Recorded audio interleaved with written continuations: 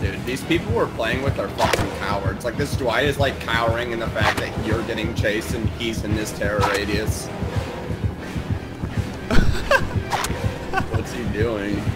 Swinging at Swinging at- fucking window. Dude, it's meme time. Oh fuck.